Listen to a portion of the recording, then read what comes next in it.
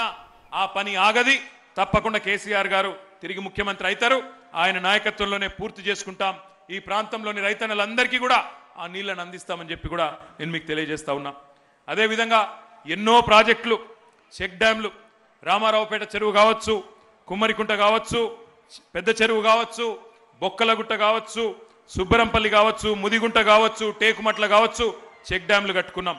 అదేవిధంగా ఇప్పుడే నేను చెప్పినట్టు మంచి ఆసుపత్రులు అక్కడ చెన్నూరులో వంద పడకలు మరి అదేవిధంగా యాభై పడకలు ఇతర చోట్ల. ఇట్లా ఎన్నో కట్టుకున్నాం.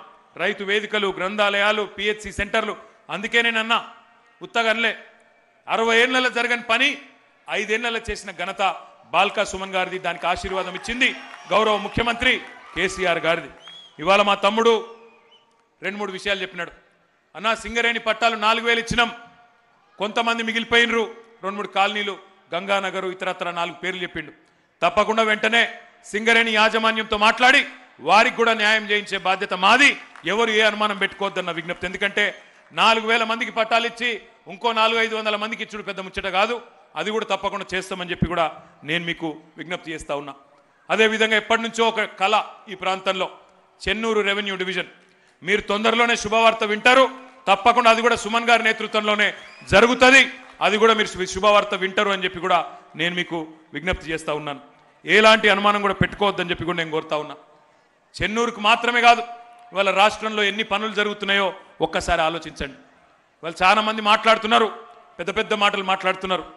అరవై ఏళ్ళు అధికారం ఇచ్చినా ఏమీ చేయని వాళ్ళు. అరవై ఏళ్ళు అధికారం ఇచ్చినప్పుడేమో ఆనాడు ప్రజలను మర్చిపోయి రాజకీయం కోసం ఢిల్లీ చుట్టూ పైరవీలు చేసిన వాళ్ళు ఇవాళ పెద్ద పెద్ద మాటలు మాట్లాడుతున్నారు. వాళ్ళు కూడా వస్తున్నారు ఇవాళ ఓట్లు అడిగే తందుకు. ఏందెందో చెప్తున్నారు. ఆరు దశాబ్దాలు ఏమీ చేయని వాళ్ళు ఆరు గ్యారంటీలు అని చెప్పి ఇలా డైలాగులు కొట్టుకుంటూ వస్తున్నారు. ఆలోచించండి. ఆగం కాకండి. ఆలోచనతో ఓటేయండి. ఎందుకంటే మీ కళ్ళ ముందే ఉన్న చరిత్ర. ఎట్లుండే ఒకనాడు చెన్నూరు పదేళ్ళ కిందట తెలంగాణ రాకముందు ఇవాళ ఎట్లయింది ఈ నియోజకవర్గం? ఎట్లుండే క్యాతన్పల్లి ఎట్లుండే మందమర్రి? ఎట్లుండే రామకృష్ణాపూరు? ఇవాళ ఎట్లున్నది? ఒక్కసారి ఆలోచన చేయండి. ప్రతి ఊళ్ళో ఈరోజు పల్లె ప్రగతి కార్యక్రమంలో చక్కటి కార్యక్రమాలు జరుగుతూ ఉన్నాయి. డంప్ యార్డ్లు వైకుంఠ ధామాలు ఇంటింటికి నీళ్ళు రైతు వేదికలు చెప్పుకుంటూ పోతే ప్రతి ఊళ్ళో ఒక నర్సరీ బ్రహ్మాండ